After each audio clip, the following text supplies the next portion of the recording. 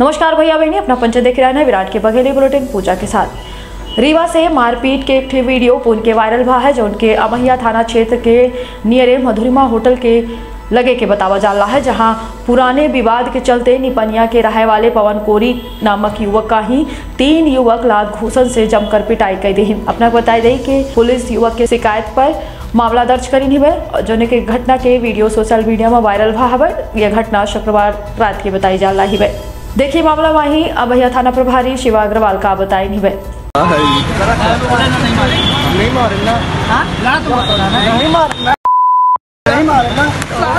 नहीं मारे ना लोग नहीं मारे नहीं मारे झूठ बोली झूठ बोली झूठ बोला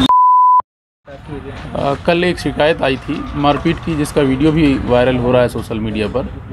उसमें अब धारा 327 के अंतर्गत मामला पंजीबद्ध किया गया है। दोनों आरोपी को गिरफ़्तार कर लिया गया है और आगे विवेचना की जाती क्या मामला? है मामला पुराना विवाद का और कुछ जो है नशे से संबंधित पाया गया था। तो अभी विवेचना की जा रही है। सारे तथ्य निकल कर सामने नहीं आए हैं। जो भी तथ्य निकल के आएँगे उसके हिसाब से कार्रवाई की जाएगी। बुलेटिन की अगली खबर में ही रीवा के भारतीय राष्ट्रीय छात्र संगठन केवीएम विद्यालय के द्वारा फ़ीस वसूली के खिलाफ जिला शिक्षा अधिकारी रीवा का ज्ञापन सौंपी अपना बताई दी के इस समय में कार्यकर्ता बताए के कोरोना काल के फ़ीस के वसूली प्रशासन कर रहा है, जहाँ फ़ीस भरे में जो छात्र सक्षम नहीं आई, उनका विद्यालय के परीक्षा से वंचित किन जा रहा है एनएसयूआई जिला अध्यक्ष रवि सुमित आरोप लगाइन के बोदाबाग में ही संचालित होने वाली केवीएम कॉन्वेंट स्कूल प्रशासन कोरोना के समय में ही ऑनलाइन कक्षन के नाम पर खाली व्हाट्सएप ग्रुप में मैसेज करें। जौने के वजह में ही अब फ़ीस के वसूली की जा रही है। वही संगठन के कार्यकर्ता यह कहिन कि वो छात्रन के हित खातिर लड़ाई लड़ी ही। आई सुनाई थे एनएसयूआई कार्यकर्ता का बताई आज की जो प्रेस वार्ता है केवीएम कॉन्वेंट स्कूल के संचालक स्वतंत्र सिंह जी के द्वारा जो मेरे ऊपर सोशल मीडिया के माध्यम और इलेक्ट्रॉनिक माध्यम के मा, के माध्यम से मैंने जो देखा जो मेरे ऊपर आरोप लगाए गए हैं उसके खिलाफ और उसको और सच्चाई से अवगत कराने के लिए मैंने आज ये प्रेस वार्ता की है। एक कहावत है कि जो चोर होता है वो दूसरों को भी अपनी अपनी जैसा ही समझता है। स्वतंत्र सिंह जी का इतिहास आप लोगों को जानने की ज़रूरत है। स्वतंत्र सिंह जी शिक्षा घोटाला में करीब शिक्षा घोटाला में तीन साल की उनको सजा हुई थी। बीओ के पद में थे और उन्होंने शिक्षा जगत का इतना बड़ा घोटाला किया था कि उनको टर्मिनेट कर दिया गया था शिक्षा विभाग से। उसके बाद वो प्राइवेट एक स्कूल खोले हैं और उस पर अब उनका शिक्षा घोटाले से पेट नहीं भरा। तब वो प्राइवेट स्कूल खोल करके जो बच्चे पढ़ते हैं, गरीब या मध्यम वर्ग के परिवार के बच्चे, उनसे जबरन फ़ीस वसूली करके उससे अपना वसूली का अड्डा बनाए हुए हैं। शिक्षा के पवित्र मंदिर को वसूली का अड्डा बनाए हुए हैं। उनके द्वारा न तो लॉकडाउन कोरोना में, जब उच्चतम न्यायालय और सरकार का आदेश था पूरे भारत वर्ष में, संपूर्ण भारत में लॉकडाउन था ऑनलाइन क्लासेस का प्रावधान था, उनके द्वारा ना तो एक भी दिन ऑनलाइन क्लासेस ली गई, ना भी किसी, ना तो किसी तरह की लाइव क्लासेस चलाई गई, पर परिजनों को और बच्चों को प्रताड़ित करके व्हाट्सएप के माध्यम से जो पढ़ाई का ग्रुप था, उसमें वो फ़ीस के लिए दबाव बना रहे थे और बच्चों को परीक्षा से वंचित कर रहे थे। बच्चों को परीक्षा नहीं देने दिया जा रहा था। इससे पहले भी जब अर्धवार्षिक परीक्षा थी, तब हमने जिला शिक्षा अधिकारी के पास ज्ञापन सौंपा और हमने उनसे मांग की कि जिन बच्चों को परीक्षा नहीं देने दिया जा रहा है, उनको परीक्षा दिलवाई जाए। उस आदेश को भी उन्होंने दरकिनार किया, कुछ भी नहीं माना उस आदेश को और बच्चों को परीक्षा से वंचित किया। फिर उसके बाद जब प्री बोर्ड परीक्षा का वो आदेश हुआ प्री बोर्ड परीक्षा की, अपने आप नोट शीट और क्वेश्चन पेपर लेके छात्र प्री बोर्ड परीक्षा दें। उसमें भी उनको परीक्षा से वंचित किया गया। उन्होंने व्हाट्सएप के माध्यम से सिर्फ़ यही भेजा कि फ़ीस दें, नहीं, परीक्षा नहीं देने दिया जाएगा। ये देखिए, ये ग्रुप ये ग्रुप में जो उन्होंने क्लास के ग्रुप में भेजा है कि फ़ीस जमा करें, वरना परीक्षा नहीं दिया जाना जाएगा। और ये देखिए न्यायालय का आदेश है कि फ़ीस ऑनलाइन जब ऑनलाइन परीक्षा ऑनलाइन क्लास ली जाएगी तभी फ़ीस दिया जाएगा। सुप्रीम कोर्ट और राज्य शासन का आदेश है। तो उसके अंदर विद्यालय आता है संकुल के अंदर। मार्तन क्रमांक दो में। तो उसमें उनके द्वारा जानकारी नहीं दी गई फिर मैंने शिक्षा जिला शिक्षा अधिकारी को लगाई गई। ये देख लीजिए जानकारी। मेरे पास तो जानकारी मिल। गई नहीं मिली उनके जवाब जानकारी दी नहीं गई। क्या बोलते जानकारी नहीं दी मेरे ऊपर आरोप लगाते हैं। कि मैं जो हूँ तो डराता हूँ धमकाता हूँ भद्रता करता हूँ। क्या सूचना के अधिकार के तहत जानकारी मांगना डराना धमकाना है? जहाँ बच्चे पढ़ रहे हैं वहाँ हमने मांगा कि खेल का मैदान कहाँ है जो शिक्षक पढ़ा रहे हैं उनकी योग्यता क्या है क्या वो गलत है? आपको जानकारी नहीं दी गई इसके ऊपर आपने अपील की कहीं? जी हमने उसके बाद ये शिक्षा अधिकारी को अपील की। पहले हमने मंडल में लगाया था उसमें जानकारी नहीं मिली संकुल में फिर उसके बाद हमने जिला शिक्षा अधिकारी से अपील की। तो अभी भी उनके द्वारा हमें कोई भी वो जानकारी नहीं दी गई। विद्यालय में आपके घर का भी कोई सदस्य अध्ययन रहता है? हाँ जैसे सभी बच्चे पढ़ते उस तरह हमारे घर के भी बच्चे उस विद्यालय में पढ़ते हैं। उनके द्वारा ये भी आरोप लगाया गया था कि हमारे द्वारा दो साल से फ़ीस नहीं दी गई है। ये मैंने उसकी रसीद ली हुए ये देख लीजिए नौ ग्यारह को नवंबर महीने में ये बच्चों की फ़ीस हमने जमा की थी। अगर दो साल की हम फ़ीस नहीं जमा करते तो क्या ये रसीद हमारे पास आती? हमारी बात सिर्फ़ उनसे यही थी कि जब आपने कोरोना काल पे क्लास नहीं ली पढ़ाई नहीं कराई तो फ़ीस किस बात की? वो तो सीएम का आदेश था कि पढ़ाई नहीं तो फ़ीस नहीं। जी तो उस आदेश को भी उन्होंने नहीं माना और उन्होंने खुली चुनौती दी। आपने भी कहा कि इससे कुछ बच्चों को परीक्षाओं से वंचित किया जी जी। ऐसे कितने बच्चे हैं जो कोरोना के चलते और फ़ीस न भरने के चलते परीक्षाओं को वंचित ऐसे बहुत सारे बच्चे हैं तब तो विद्यालय प्रबंधक विद्यालय संचालक ने खुद ग्रुप में भेजा कि जो बच्चे परीक्षा से वंचित है वो फ़ीस जमा करें फिर परीक्षा दें। अगर उन्होंने परीक्षा दिलवा दिए होते तो क्या वो ऐसा मैसेज भेजते कि फ़ीस जमा करें फिर परीक्षा दें?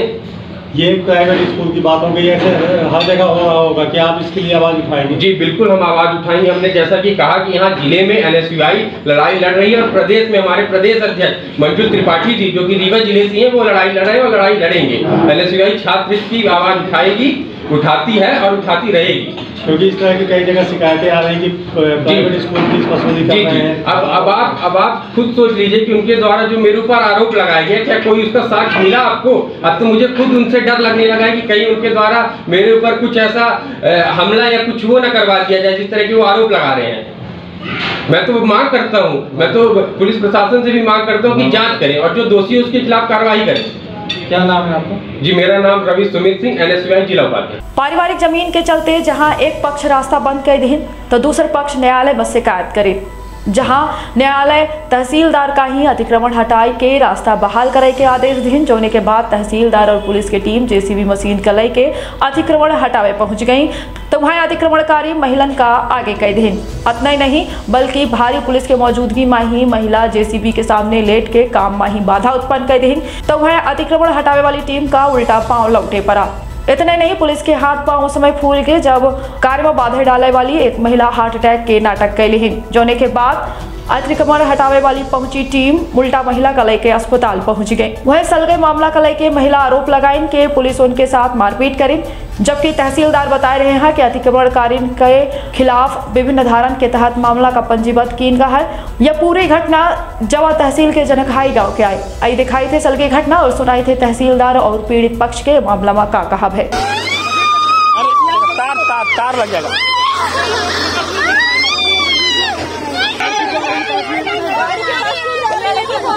उसके आगे जा रही। मशीन के आगे क्यों जा रही? है नीचे जाने गाड़ी के नीचे न चली जाए। लेके मशीन के आगे क्यों जा रही? अरे मशीन के आगे मत भेजिए। भाई मशीन के आगे मत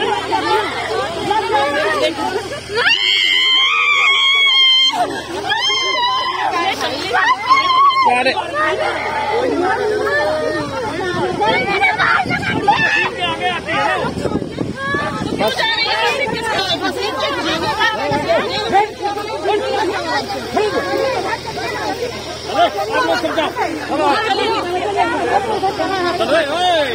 क्या नाम है भाई साहब आपका? सर मेरा नाम सत्येंद्र कुमार शुक्ला है। मैं ग्राम जनकहाई कला का हूँ। हम्म। क्या जो अतिक्रमण का मामला था वो क्या मामला था? सर मामला ये था कि सर रास्ता बंद किए हैं। बहुत दिनों से तहसीलदार तहसीलदार साहब अपर कलेक्टर और एसडीएम साहब का आदेश है हमारे पास और उन्होंने जो है नौ फुट का आदेश किया। सर वो जो है अब जहाँ हम लोग रास्ता निकलते हैं रास्ता पूरी तरह से बंद किए हैं तो गाली गलौज करने लगते हैं लाठी जान से मारने की धमकी देते हैं श्रीमान कल क्या हुआ था? कल सर आए थे तहसीलदार साहब अतिक्रमण हटवाने के लिए और वो जो है हटवाने लगे तो एक मतलब लेडीज़ जो है चाची है वो बेहोश हो गई और बोलते कि हार्ट अटैक हो गया और सर भाग गए लेके। तो साहब वो सर लोग जो है लेके गए कि हम दवाई करवाएँगे यदि हार्ट अटैक आया है तो और रास्ता उतरना नहीं खुल पाया, सर। बहुत परेशान हैं। बस रास्ता भर पुलिस के ऊपर आरोप भी लगाए गए कि पुलिस ने मारपीट की थी। सर ऐसा कुछ नहीं मारपीट तो हुआ ही नहीं। सर आप बड़े कायदे से वो पकड़ के थोड़ा अलग किए लेकिन जब रास्ता नहीं खुला तो सर पकड़ने की भी कोई ज़रूरत नहीं थी सर। शासन से आपकी अब क्या मांग है? शासन से मेरा ये मांग है कि सर मेरे साथ उचित न्याय किया जाए सर और रास्ता मुझे दिया जाए क्योंकि हम लोग मर रहे हैं दसों घर हैं सर। मर रहे हैं हम लोग बहुत परेशान हैं सर। आपका क्या नाम है दादा? श्रीकांत शुक्ल। कल क्या विवाद हुआ था अतिक्रमण अपर कलेक्टर साहब के आदेश रहा। हाँ। तहसीलदार साहब रास्ता खुलवाओ गए साहब हमारा रास्ता बंद थी हम्म। तो हो गया जेसीबी गवे नहीं है। हम्म। खंभा रहा तो दो दिन रहा पहले। हम्म। और पुलिस वाले घर रहे। हम्म, तो कहीं बेहौटी टायर तो हम पचे बेहौटी टायर लागे ठोका। हम्म, हम्म। दस हाथ टायर के बाद मुन्ना की दुल्ही जौन है हम्म, पहुँच रही है अपने ओटा माँ। और कहीं की जौन है आँखी मूंद ली थी फिर लगी चले आए हल्ला करे लागे हैं? करने तो लगे। रहे। नहीं कल बोला गया पुलिस के पुलिस के द्वारा मारपीट हुई थी तो क्या ऐसा कुछ हुआ था? कुछ भी नहीं हुआ मारपीट हम अपना वीडियो दिखा दे पूरा देख ली हाँ कहाँ न पुलिस बोली न के बोल रहे वो गरियावर है तहसीलदार गरियावर रहे हैं और पुलिस वाले गरियावर रहे मतलब कुल मिला के आपको रास्ता अतिक्रमण कर था ना? पूरा साहब बंद रास्ता मारा था गोरू मार मेहरियन को मारा था भीतरे घुस के कई मार चुके। कल जनकहाई वाले मैटर पे आपके ऊपर मारपीट का आरोप लगा महिलाओं ने लगाया। इसमें क्या सत्यता है सर? आपका क्या कहना है? किसी भी व्यक्ति को कोई मारपीट न तो पुलिस के द्वारा न मेरे द्वारा की गई है। किसी भी पुलिस बल ने भी किसी के साथ कोई मारपीट नहीं की है। झूठा आरोप है झूठा आरोप है महिलाओं ने कहा कि आपने धक्का दिया सामने से और बेहोश हो गई करके। महिला घर के अंदर थी। उसको जब जेसीबी हमारी पहुँची है बाड़ी हटाने के लिए, चार साल से पेंडिंग था रास्ते का विवाद। रास्ते में बाधा पैदा कर रखा है दूसरे फैमिली ने और आवागमन अवरुद्ध है। जेसीबी न जाने पाए, उन्होंने रास्ते में बालू, गिट्टी, पत्थर, मिट्टी भर के रखी थी। किसी तरह से हमारी जब जेसीबी वहाँ पहुँची तो वो महिलाएँ पूरे घर की वहाँ सामने आ गईं और अन तीन घंटे तक उन्होंने कार्यवाही बाधित किया सरकारी कार्य में बाधा उत्पन्न कर दी और न्यायालय अपर कलेक्टर के आदेश की अवज्ञा की। अंततः हमें वापस आना पड़ा। न तो किस औरत को मारा गया और न कुछ हुआ। बेहोशी का नाटक उसने ज़रूर किया था तो उसको तुरंत पुलिस की सहायता से उठा के हम हॉस्पिटल भेजे। लेकिन वो बीच में उतर गई और कहीं चौराहे पर रख रहे थे उसको कहीं तहसील परिसर रख रहे थे तो बीमार होती तो उसको अस्पताल ले जाना था। और पुलिस की सहायता से हमने हॉस्पिटल भिजवाया। डॉक्टरों ने उसकी जाँच की और जाँच में पूर्णतः स्वस्थ पाया किसी प्रकार की कोई बीमारी नहीं थी। उसने मरने और बेहोशी होने का झूठा नाटक करके सरकार को बदनाम किया। तो सर सर जो फरियादी है सर तो उसका अतिक्रमण अब हटेगा या तो इनके ऊपर कोई कार्रवाई होगी कि नहीं होगी? फरियादी का अतिक्रमण नहीं हट पाए लोगों के बाधा पैदा करने के कारण इसलिए उनके खिलाफ भारतीय दंड विधान की धारा एक सौ अठासी शासकीय कार्य में बाधा आईपीसी तीन सौ तिरपन का मुकदमा तथा न्यायालय अपमान अधिनियम उन्नीस सौ बहत्तर की धाराओं के तहत मुकदमा दर्ज किया जाएगा। और उनके खिलाफ अब न्यायिक कार्रवाई होगी क्योंकि पुलिस और प्रशासन के जाने पर लौटा दिया गया है और मरने और बेहोशी का नाटक करके बदनाम किया गया तो हम, मुझे नहीं लगता कि कोई अब अधिकारी वहाँ जा पाएगा इसी परिस्थितियों में। जहाँ मिथ्या आरोप लगते हों। उनके खिलाफ कानूनी कार्रवाई की जाएगी वो जेल जाएँगे। जी, धन्यवाद। बुलेटिन की अगली खबर सिंगरौली से रही, जहाँ जिला के चित्रंगी पुलिस 24 घंटे के भीतर चोर गिरोह के पर्दाफाश कर दी अपने बताया कि चोर गिरोह के पर्दाफाश करे के बाद उनका गिरफ़्तार किया चार फरवरी का ही फरियादी लगनधारी यादव जौन के शासकीय उत्कृष्ट विद्यालय चित्रंगी के प्राचार्य ही उ थाना में रिपोर्ट दर्ज कराए रहे कि अज्ञात व्यक्ति विद्यालय के कीमती सामान चुरा ले गया है। जोने के बाद उप निरीक्षक विनय शुक्ला के दिशा निर्देश और एसडीओपी मरवा राजीव पाठक के मार्गदर्शन में ही संदेहिन का पुलिस हिरासत में लेनगा जो उनके चोरी करब का स्वीकार करी निबे वह चोरी करे गए सामान की अनुमानित कीमत तीन लाख बावन हज़ार रूपया बताई जा रही है। वह थाना चित्रंगी में ही अपराध का पंजीबद्ध करके न्यायालय में पेश किया गया है। सिगरौली से विनय यादव की रिपोर्ट। दिनांक चार दो हज़ार बाईस को चित्रंगी उत्कृष्ट विद्यालय के प्रचार द्वारा थाने में आकर सूचना दी गई कि अज्ञात चोरों ने उनके कक्ष का ताला तोड़कर एवं कंप्यूटर लैब का ताला तोड़कर उनके कक्ष से LED TV, DVR, CCTV camera एवं कंप्यूटर लैब से सात कंप्यूटर और सीपीयू वगैरह चोरी कर लिए गए हैं। सूचना के आधार पर धारा तीन सौ अस्सी एवं चार सौ संतावन आई का मामला पंजीबद्ध कर विवेचना में लिया गया। एवं घटना के संबंध में वरिष्ठ अधिकारियों को सूचना दी गई। वरिष्ठ अधिकारियों के दिशा निर्देश में एक टीम गठित कर मामले की छानबीन शुरू की गई। पूछताछ के दौरान पता चला कि रात, घटना से एक दिन पहले रात्रि करीब ग्यारह, साढ़े ग्यारह बजे के आसपास राकेश उर्फ़ छोटू बारी एवं अनूप सिंह गोण उर्फ़ लाला स्कूल के आसपास देखे गए थे। संदेह के आधार पर दोनों को घर से उठाया गया एवं थाने लाकर सख्ती से पूछताछ की गई। तो दोनों ने चोरी करना स्वीकार किया एवं उनके घर से लगभग चोरी या तीन लाख बावन हज़ार का मशरूका बरामद किया गया। आज दोनों को गिरफ़्तार करके न्यायालय भेज दिया गया है और मामले की अग्रिम विवेचना जारी तो भैया बहनी आज के बुलेटिन में इतना तब तक के लाने दे इजाज़त। देखते रहिए मारविंद के बघेली समाचार। साथ ही चैनल का लाइक, सब्सक्राइब और शेयर ज़रूर करिए। नमस्कार।